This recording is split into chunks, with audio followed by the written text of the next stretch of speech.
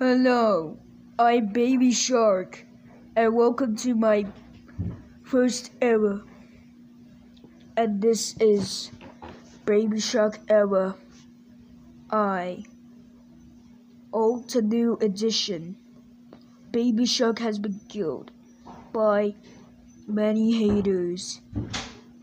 There's no bomb explodes, no timers, and chances are 30, but they can't be shown on the screen. So don't turn off your computer. Anyways, this is done. All over and out.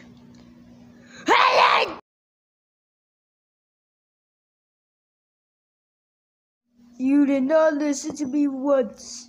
Don't do it again. The year is now 1994. But please, do not turn off your computer or Windows XP. I am so tired of you turning off your Windows 90, I mean Windows XP. If you turn it off again, something bad will happen to your computer.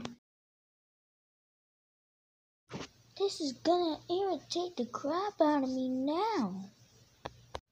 Don't turn your Windows XP. Wow, I actually turned into evil mode. If you turn it off again, I'll become in scary mode.